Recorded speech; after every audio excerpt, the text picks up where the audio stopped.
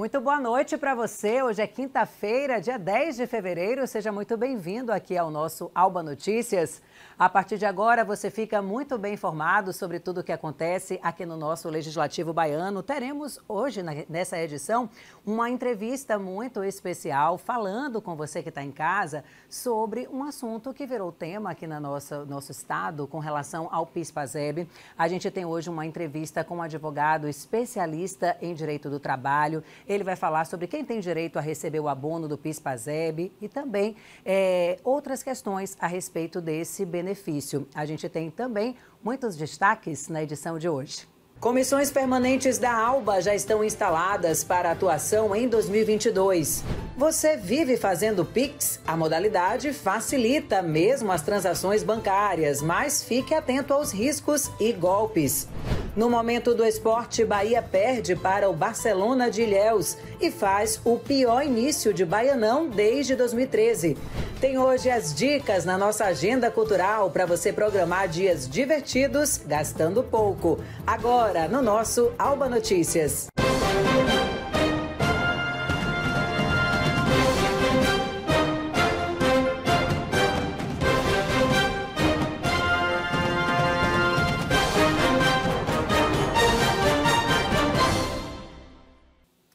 Muito boa noite para você. Presidentes e titulares das 10 comissões permanentes aqui da Assembleia Legislativa da Bahia foram definidos nesta quarta-feira para atuação no quarto ano da 19ª legislatura aqui na Casa. A principal mudança foi na Comissão de Finanças. Vamos ver.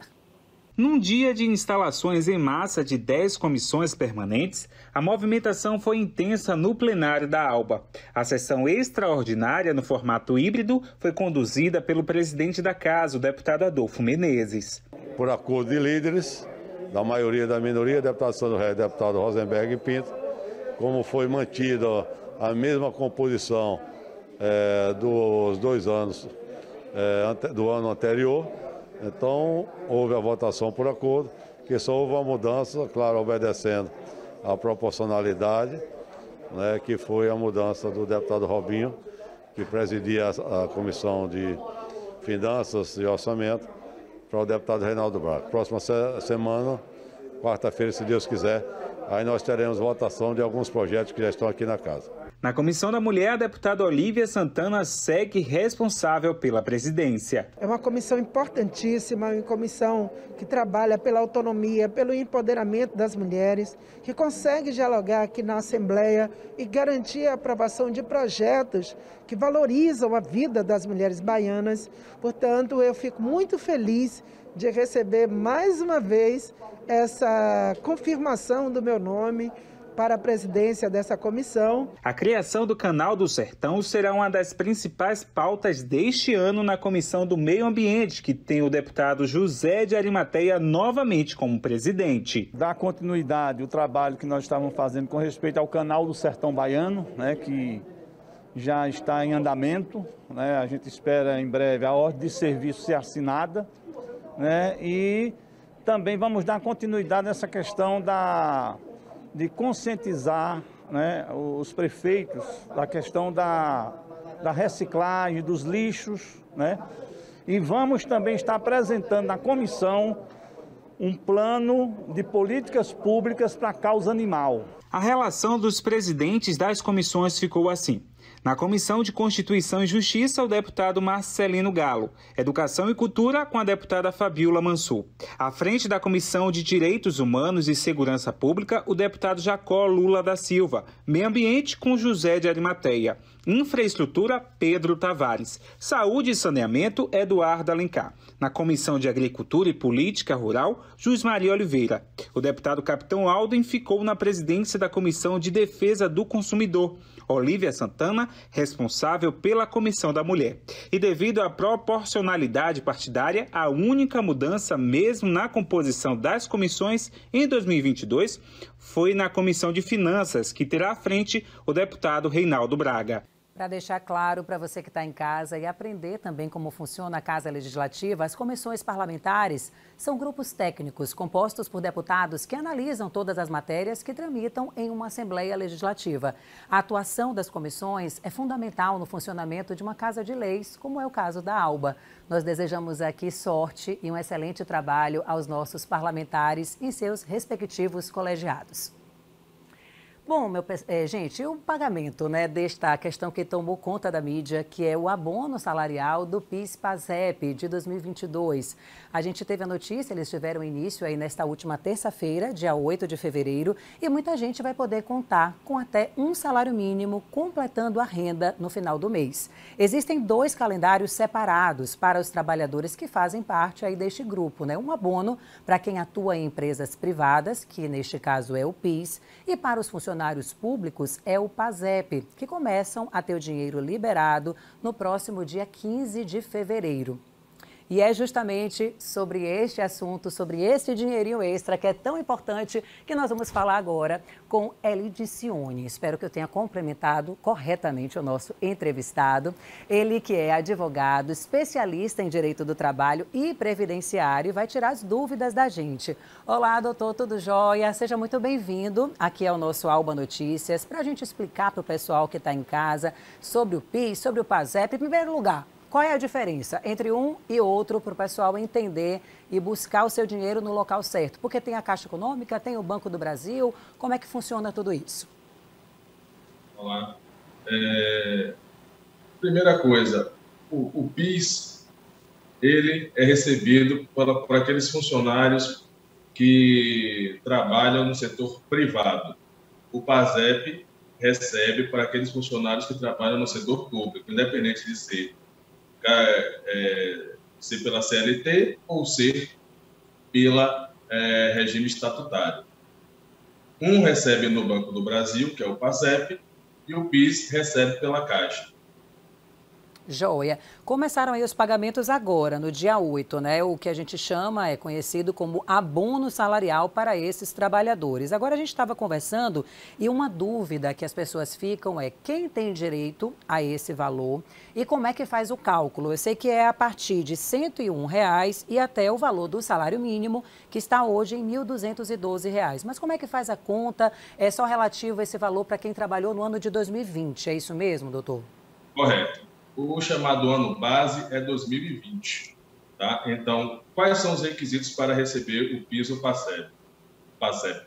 É, esteja cadastrado no PIS ou PASEP há, há pelo menos cinco anos, ter recebido de empregador pessoa jurídica, em média, até dois salários mínimos em 2020, é, ter trabalhado com carteira assinada ou ser investido no cargo público em até 30 dias né, ter trabalhado por 30 dias no ano de 2020, ressaltando que se trabalhou acima de 15 dias no ano de 2020, já é contabilizado como mês cheio, ou seja, se trabalhou 16 dias, já é considerado como 30 dias trabalhados para efeito de receber o PIS, o PASEP.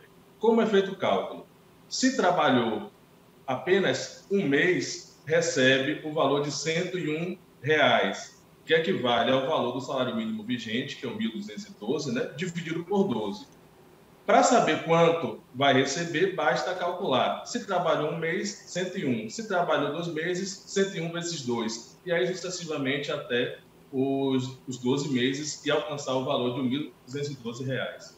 Joé, doutor, estava verificando que quem tem conta na Caixa, quem tem aquele cartão cidadão, o depósito desse valor é automático. É verdade? E se o dinheiro não cair, o que é que a pessoa deve fazer? Isso. Quem tem conta na Caixa para o caso do PIS e quem tem conta no Banco do Brasil para o caso do PASEP, haverá transferência automática, de acordo com o calendário de pagamento. Tá? E quem tem um cartão cidadão, chegou na data que tiver disponível, também pode fazer o saque. Quem tiver também o aplicativo Caixa Tem na poupança digital, ocorre da mesma forma. E aquelas outras pessoas que, porventura, tenham o cadastro na, no BB, pode ir diretamente solicitar a transferência para uma conta de outro banco. Então, são dessas formas de recebimento.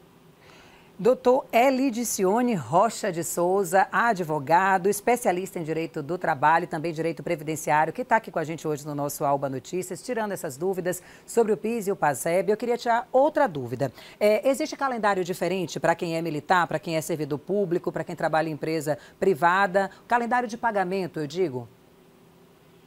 São dois tipos, são dois calendários distintos. Certo. O calendário do PIS, ele vai de acordo com o mês de nascimento, de janeiro a dezembro, iniciando-se né, em 8 de fevereiro, né, o pagamento, até 31 de março. Tá? Já o PASEP é pelo número de inscrição, o final do número de inscrição, de 0 a 9, iniciando em 15 de fevereiro até 24 de março.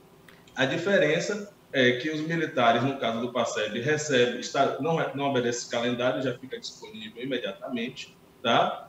E ah, algumas pessoas que residem nos municípios que foram afetados pelas enchentes em Minas Gerais e na Bahia também não precisam aguardar esse calendário. No primeiro dia do PASEP e no primeiro dia do calendário de pagamento do PIS, podem realizar esse levantamento.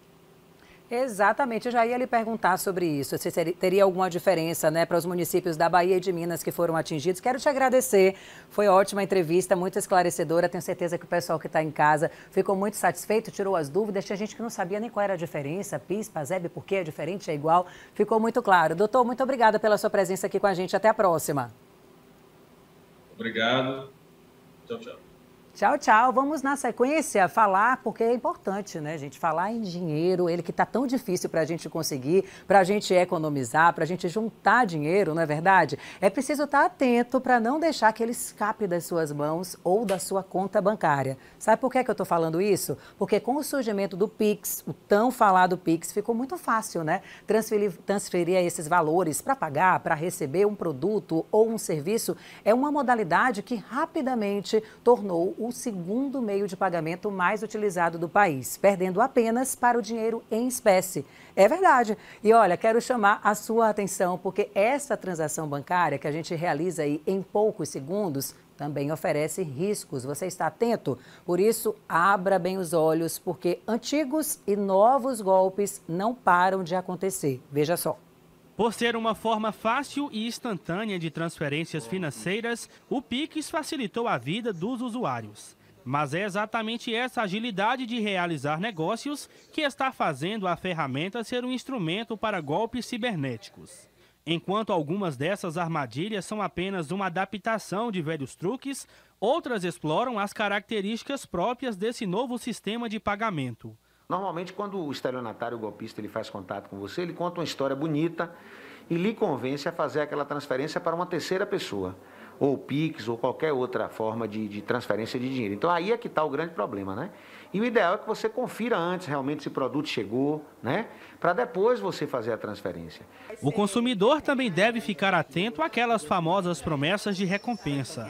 Quando os golpistas mandam mensagens ou ligam pedindo para o usuário fazer uma transferência via Pix para uma chave específica. Todas essas transações comerciais feitas através de aplicativos, né, de WhatsApp, de, de, de do Instagram, do próprio Facebook, é interessante que a pessoa faça qualquer espécie de transferência, Pix ou depósito para a pessoa que está negociando e não para uma terceira pessoa. Esse tipo de crime é considerado um estelionato, tipificado no artigo 171 do Código Penal. Eles representam grande parte das ocorrências registradas na Delegacia de Repressão a Furtos e Roubos de Vitória da Conquista. A pena para o crime é de reclusão de 4 a 8 anos e multa. Conseguiu o máximo de dados possível em relação ao golpista e vir registrar a ocorrência, para que a gente possa ouvi-la e encaminhar o expediente lá para o local onde ele reside. A gente é, procura a identificação dele através do, do Infoseg e possa indiciá-lo aí por estelionato. Pois bem, fiquem atentos, tá? Agora a gente vai falar sobre uma notícia da área de telefonia. O Conselho Administrativo da Defesa Econômica, o CAD, aprovou ontem a venda da rede de telefonia móvel da Oi para o grupo formado pela Claro, TIM e Vivo. A Oi vendeu sua operação de telefonia móvel para pagar dívidas que ao todo somam 65 bilhões de reais. Atenção, os DDDs dos baianos ficam assim agora. A Claro assume os códigos de área 71 e 74 já a TIM fica com os códigos 73 e 75.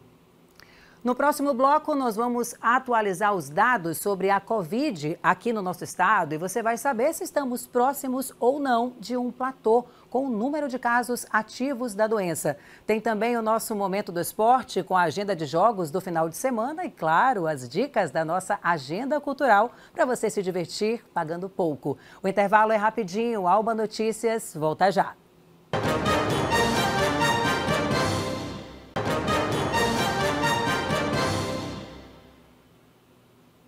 Olá, estamos de volta com o nosso Alba Notícias. E para começar este bloco, a gente vai trazer para você que está em casa os números né, da Covid aqui no estado. A gente está ouvindo falar deste platô, do crescimento, do número de casos. Você já se vacinou? Vamos com a gente conferir a ocupação dos leitos? Enfermaria adulto, como é que está hoje? A gente tem 784 leitos disponíveis e agora estamos com 436 leitos ocupados, o que representa aqui uma taxa de ocupação de 56%.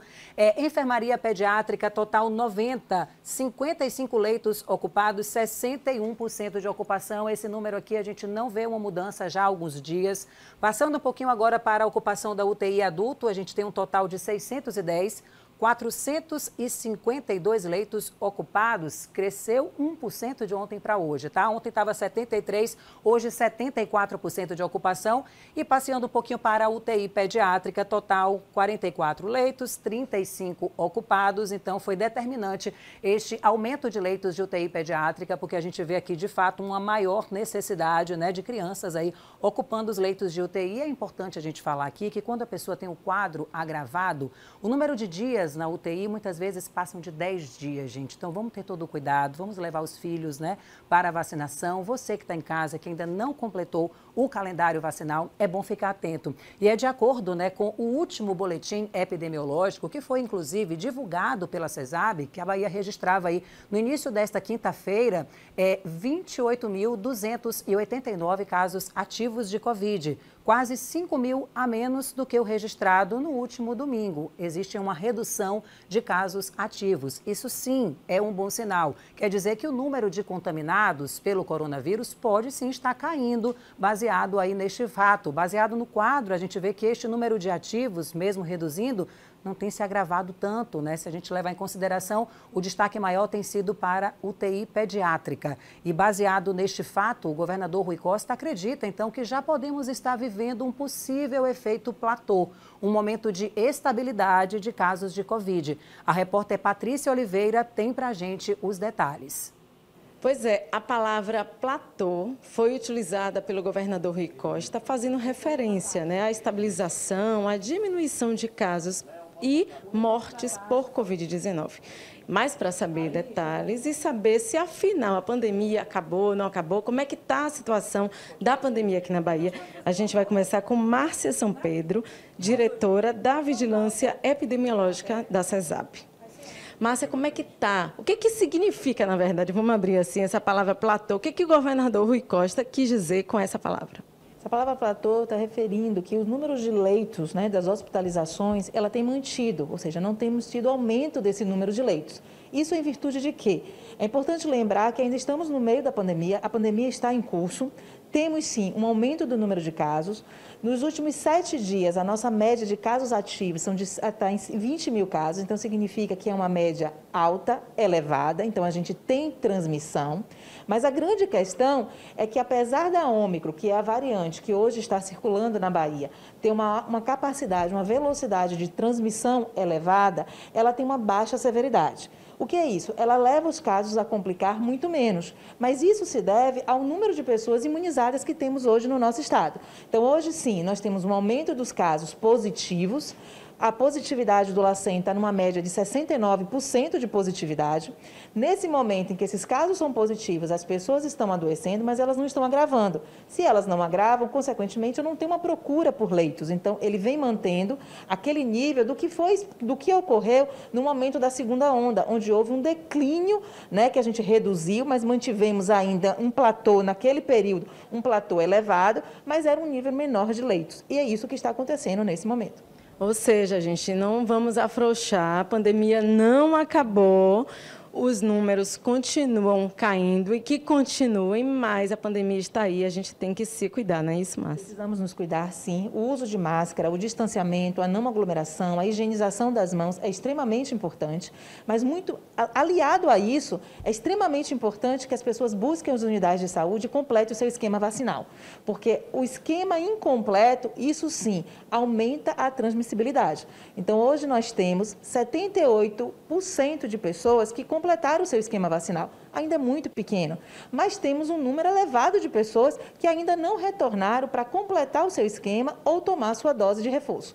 Então, nesse momento, o avanço na vacinação é extremamente importante, a busca pelos postos de saúde e a vacinação das crianças. Obrigada, Márcia. Então, é isso mesmo, como Márcia falou. Vá, procure o posto, se imunize, tome sua vacina, continue usando máscara, higienize as suas mãos. Patrícia Oliveira, para a TV Alba. Muito obrigada, Patrícia, Márcia. Que bom, né? Que logo possamos aqui estar falando em uma redução significativa de casos e, quem sabe, em breve, anunciar aqui para vocês o fim da pandemia. Vamos agora falar de esporte. Você que está em casa, topa entrar nessa com a gente? Roda a vinheta. Leonardo Costa é o homem do esporte aqui da nossa TV Alba. Ele que leva para você que está em casa as novidades do universo esportivo. Tem jogos esse final de semana, Léo? Como é que vai ser? Tudo jóia? Boa noite, minha parceira. Boa, Boa noite, pessoal de casa. É isso mesmo. Tem jogos no fim de semana e teve jogos ontem, né? Sim. E a gente já abre a edição de hoje falando de futebol. Ontem ocorreram duas partidas pela quinta rodada do Campeonato Baiano de 2022. Adianto que os torcedores não ficaram muito satisfeitos. Vamos ver. Na Arena Fonte Nova, o confronto foi entre Bahia e Barcelona de Ilhéus. O lateral Arnold do time visitante carimbou o único gol da partida aos 30 minutos do primeiro tempo e colocou a equipe Lince no G4 do Baianão. Em jogo emocionante no Carneirão, o Atlético de Alagoinhas abriu vantagem de 3 a 0 sobre o Unirbe. Os gols iniciais foram de Miller, Dionísio e Jerry, mas o time adversário buscou o um empate com Daxo, Biro e Bádio, que fechou o empate no apagar das luzes, aos 50 minutos do segundo tempo. Que raça, hein? Jogos bons esses, né? Muita emoção. E voltando ao Bahia, vale dizer que a equipe tem o pior início de temporada no estadual desde 2013, minha gente, com apenas 43% de aproveitamento. Enquanto isso, os times do interior vão se mostrando cada vez mais competitivos. Vamos ver como ficou a tabela de classificação após esses dois jogos, né? Jacuipense segue liderando. Vem aí Atlético, que é o atual campeão dessa competição, está aqui em quarto lugar com apenas sete pontos. Barcelona de Léus, com o jogo de ontem, de três pontos a mais, né? Foi para dez pontos. É, na lanterninha temos Juazeirense e Vitória da Conquista. E neste fim de semana ainda tem jogos pela quinta rodada do Baianão. Vamos ver agora essa agenda. Quinta rodada neste fim de semana, sábado no Adalto Moraes, às quatro da tarde, tem Doce Mel e Juazeirense. No domingo, no Lomanto Júnior, às, também às quatro da tarde, tem Vitória e Vitória da Conquista. Segundo, eu trago todos os detalhes desses jogos. Por hoje é só, mas sábado tem o nosso Momento do Esporte a partir das dez e meia da manhã. Sugestões de pauta e críticas você já sabe. Manda uma mensagem no nosso Insta, arroba TV Alba. Anota aí, tá passando na tela, arroba TV Alba. Eu aguardo vocês, aguardo você também, viu, Milena? Valeu, Léo. Estarei coladinha às 10h30 da manhã, acompanhando o nosso Momento do Esporte. Muito obrigada pela sua participação, por essas notícias.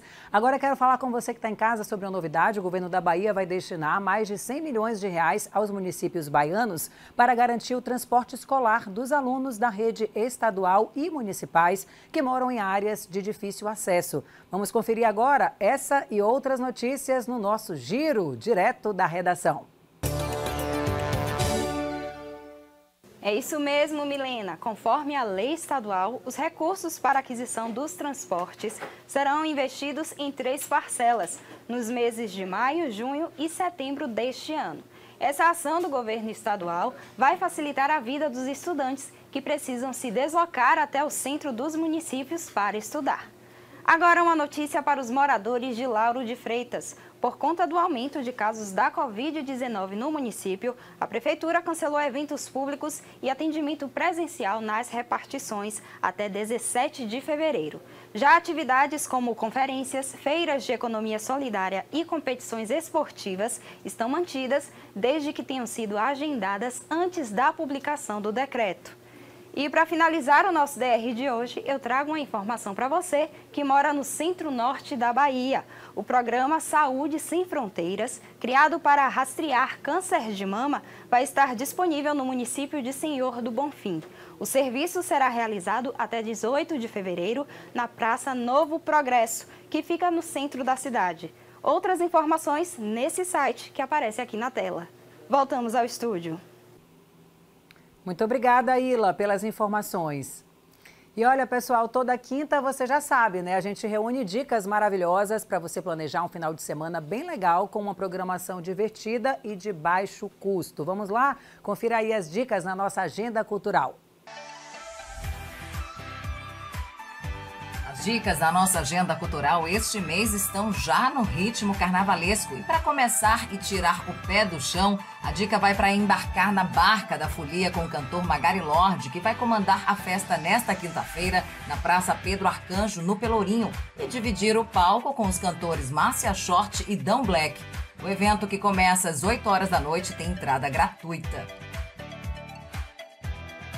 Para os amantes do teatro, tem novidade também. Vai ter comédia na Gamboa, promovida pelos grupos Aquele Cortejo e Preto Básico. As apresentações serão realizadas de forma virtual e também presencial, de quinta até domingo. Os ingressos custam R$ 10 a meia entrada e R$ 20 para a inteira. E estão à venda no site do Teatro Gamboa. A apresentação será por meio da plataforma virtual do teatro, com transmissão pelo canal do Gamboa no YouTube. Para aqueles que forem assistir na modalidade presencial, os ingressos custam R$ 30 a inteira e R$ 15 a meia entrada.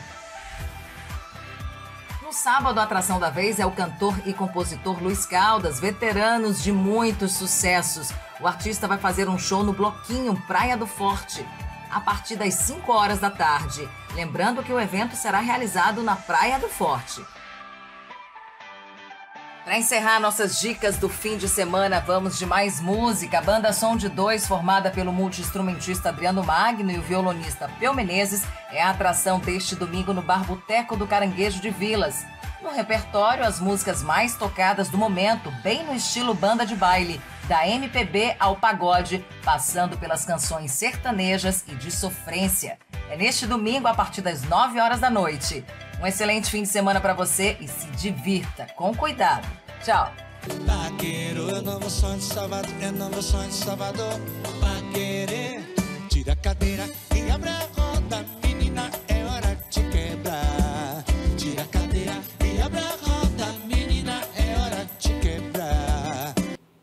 Quanto som bacana, né? Só escolher, se programar e aproveitar o final de semana com todo o cuidado. Obrigada, Patrícia, pelas dicas.